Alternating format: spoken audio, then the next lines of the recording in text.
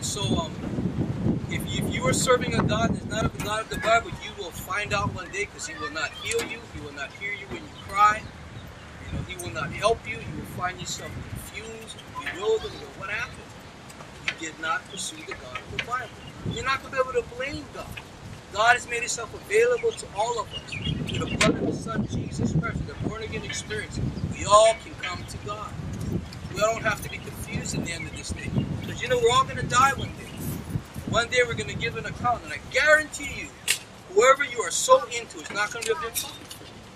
Whatever is keeping you from serving God, discovering God, will not be there on that day. You're going to stand naked and alone. And if you lived your life right, Jesus will be there. But if you haven't, you're going to be alone before God. And you know, I talk to some people on the street, and I ask them, what are you going to say to God when you get up there? And they sit there and go, oh. If they can't answer me, what are you going to do in front of God? What are they going to do before a holy God? And what are we going to do?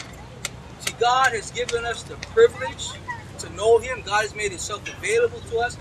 There's um, there's got to be hundreds of churches on this island. You can go and get a Bible anywhere. You will have no excuse on that day. And then you're not going to be able to blame anybody because so and so taught you this thing. The Bible the Holy Ghost will lead and guide you to all truth. Says you have not needed a teacher. The Holy Spirit will teach you. And we've so run away from, you know, God gave apostles, prophets, evangelists, pastors, teachers for the work of ministry, edifying of the saints to all come into unity of their faith. But not, that does not mean the Holy Ghost is dead. You know, it does, does not mean that God, you know, anywhere you are, you can learn from God. And um, it's not, it's not really optional at this time. It's not really optional to worship God. It's not optional to serve God. It is not optional to be born again. It is not optional to know who God is. You know, a lot we think that the Ten Commandments are just the ten in the Bible. This is the commandment of God. You see this right here? If God said it, you can believe it was a command. That's it, right? He didn't have to say, this is this commandment. If it's in here and God said it, you need to obey it. And that's that. But until you discover who God is, you blow God off. You say, I don't really got to do that. Oh, God understands. Uh, you know, I can go watch pornos and this and that and go to church Sunday, smoke crack. You know, I can go pawn up my wife. I can fool around with my husband. I can go chicken fight. I can do all these things. And Sunday, I can still God this and this. But you trample upon the blood of Jesus. Those days is ending.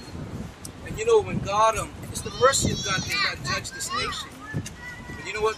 More, it's the mercy of God He's not judging us. We all at one time have done something that God's what are you doing now?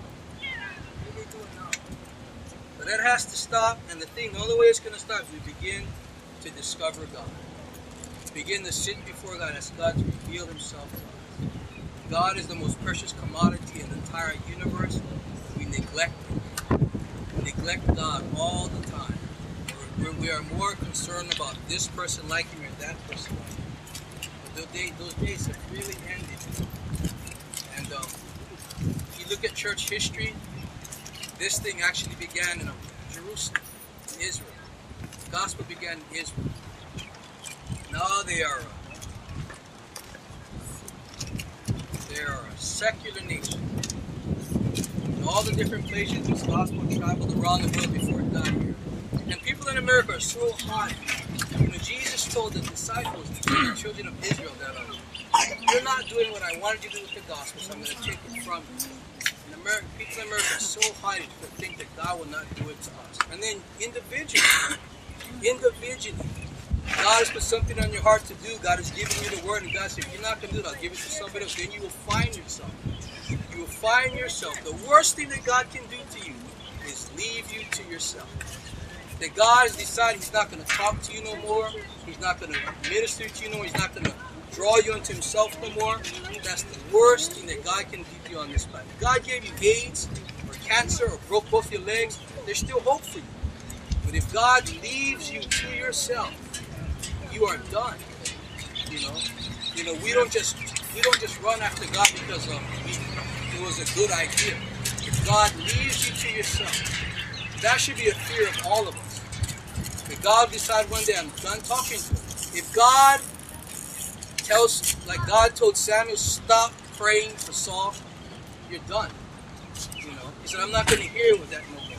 God told at times, he told the prophets not to pray for Israel. I don't want to hear about them anymore. God does that to you. If God tells people to stop praying for you, you're going to be you're just There's nothing you can do. So I, you know, I don't have the Mary Poppins gospel because hell is hot and eternity is long. You know, and this um, my boy Justin really doesn't have the Mary Poppins gospel. hell is hot, eternity is long. And you know, I don't, even, you know, I, the reason why I don't, I don't do prison ministry because there's no doorknobs, no doors. There's triple out of prison doors. Only doors on the planet without doorknobs, but there's no exits in hell. Zero. Zero exits in hell. So, I want you guys to read Matthew 7 21. God, I'm going to say to me, Lord, Lord, shall enter the kingdom of heaven. And they that do the will of my Father which is in heaven. If you read down, it says, Many have prophesied, done many wonderful works. But he said, Depart from me, you workers of iniquity, because I never knew you. So if you're doing church stuff without knowing God, it's working against you. You understand that? It's working against you, right? So Father, in the name of Jesus, Father, I thank you for your kindness and for your mercy. I thank you, Father God, you desire us to be in heaven with you, Lord God, so much so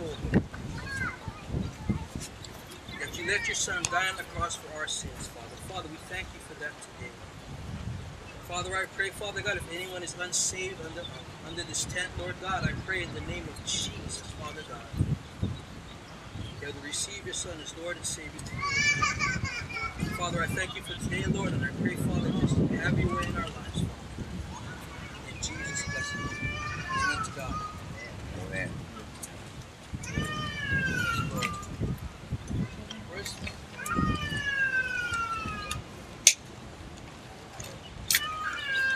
We're gonna go ahead and uh, we're gonna go ahead and close out, so we could all just go ahead and stand. And when we clap our hands for the Lord for the message that brought us on today, thank you, Lord. You know, it's very important that we know the Lord, that we know the Lord fully, and that we know the Lord completely. And it's something that we're going to spend the rest of our lives doing. Every single day of our lives, we're going to spend it getting to know God greater and greater and greater. And it's the great privilege that we have that God wants to do that. He wants to do that. In the Old Testament, said that he was a God who hides himself, but now he's a God who reveals himself in the Son, of the Lord Jesus. And he wants to continue to reveal himself to us, in us, and through us. Praise God. Uh, so what I'm going to do is I'm going to pray, and then I'm going to close out the service. And then if anyone who desires um, individual prayer for anything, we don't care what it is. We don't care what it is. Uh, we're going to want you to come on up, and then we're going to pray for you, the, the team. We're going to pray for you, praise God. We're going to the Lord that whatever whatever thing that you bring before the Lord, it will be done. Hallelujah. And uh, lastly, um, if there's anyone here who has not been baptized in water, uh, any of you that believe on the Lord Jesus Christ, who accepted Jesus as your Lord and Savior, but you have not been baptized in water, not been baptized in water, and we just like you to come up to, and we just like to share a few things with you so that we can get you baptized. It's the commandment of the Lord Jesus Christ when you go forth and make disciples that you teach all things and also baptizing in the name of the Father, Son, and the Holy Ghost. You get baptized in water, you get baptized into the death of Jesus. Come out of the water, and raise into the newness of life, just like Jesus is. Hallelujah. Let's go ahead and pray. Well, Father, we thank and love you today. And we thank you, Father, for all the things that you have shown unto us. We thank you for your progressive names, Lord. And we thank you, Father God, that even where your progressive names end in the Bible, you continue to progress your, the knowledge of yourself unto us. And we thank you, Father, that we were told that we can learn about you everywhere and in every place and in every situation. And Father, we can learn about you at night. We can learn about you in the daytime. We can learn about you in the storm. We can learn about you walking the, walking the shoreline. We can learn about you in the water, God. You're always available. You're always open to us. And we thank you, Lord, that you hear our prayers, God. We thank you, Father, that our heart will be open to contain you, Lord, that you will flow out of it, God. We thank you, Lord, you reveal yourself so strongly in our lives, God, that we would never be mistaken about you again. And that, Father, you would change us from the inside out, that we would go forth and change the world for you. In Jesus' name, we pray. Amen. Amen. Amen. We're dismissed. Praise the Lord. If you would like prayer, please do so.